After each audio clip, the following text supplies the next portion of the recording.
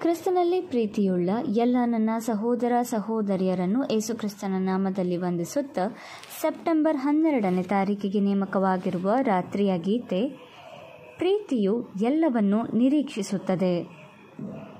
ಹೊಸ ಒಡಂಬಡಿಕೆಗಳಲ್ಲಿ ಪೌಲನು ಕೊರಿಂತದವರಿಗೆ ಬರೆದ ಮೊದಲನೇ ಪತ್ರಿಕೆ, ಹದಿಮೂರನೇ ಅಧ್ಯಾಯ, ಏಳನೇ ವಚನ.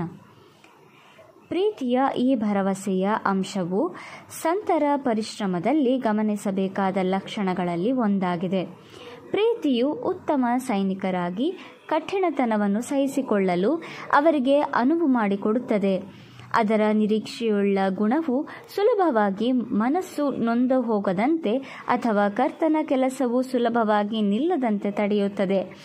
ಆದರೆ ಬೇರೆಯವರು ನಿರುತ್ಸಾಹಗೊಳ್ಳುತ್ತಾರೆ ಅಥವಾ ಓಡಿ ಹೋಗುತ್ತಾರೆ ಪ್ರೀತಿಯ ಆತ್ಮವು ಸಹಿಷ್ಣುತೆಯನ್ನು ನೀಡುತ್ತದೆ. ಅದರಿಂದ ನಾವು ಒಳ್ಳೆಯ ಹೋರಾಟವನ್ನು ಹೋರಾಡಿ ನಮ್ಮ ರಕ್ಷಣೆಯ ನಾಯಕನನ್ನು ಮೆಚ್ಚಿಸಲು ಸಾಧ್ಯವಾಗುತ್ತದೆ. ನಿರೀಕ್ಷೆಯುಳ್ಳ ಪ್ರೀತಿಯು ಯಾವುದೇ ಹತಾಶೆಯನ್ನು ತಿಳಿದಿಲ್ಲ.